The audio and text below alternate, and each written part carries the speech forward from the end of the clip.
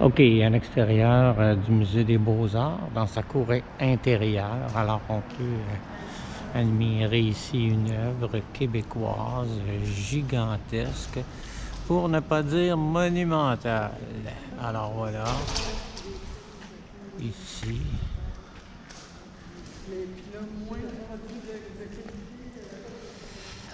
Alors, euh, voilà, ici on fait le tour, nous nous promenons et nous observons.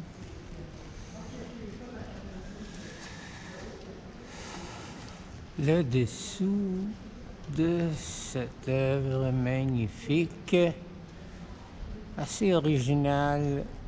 Merci. Et voilà, on en présente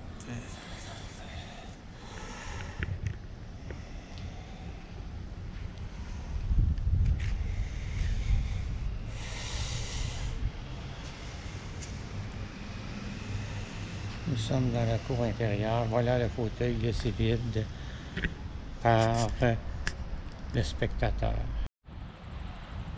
Alors voici, ceci euh, est un réaménagement, une œuvre d'art d'une écologiste américaine qui s'appelle Les promenades urbaines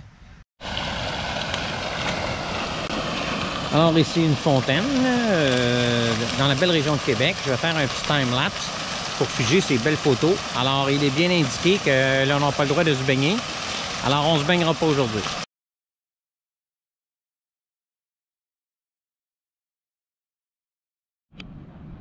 Alors nous sommes euh, sur les fameuses plaines d'Abraham. Alors, euh, c'est ici que se font les fameux festivals d'été de Québec avant la pandémie, se faisaient avant la pandémie. Alors, vous remarquez un aménagement qui a été fait par euh, le Canada pour euh, commémorer le souvenir de ces champs de bataille. Alors, voici un petit 360 de ce magnifique parc canadien au Québec. Alors, euh, magnifique vue ici du haut des plaines d'Abraham, du château Frontenac, qu'on voit au loin le pont de l'île d'Orléans et euh, une partie de la rive euh, sud de Québec. Alors voilà. Magnifique, magnifique point de vue ici qui m'a été suggéré par euh, une dame.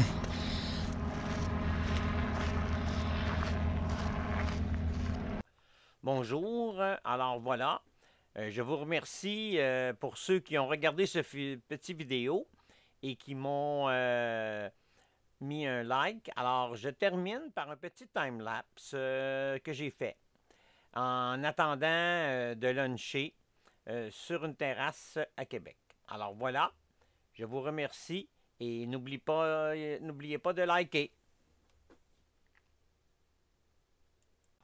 Merci et bon visionnement.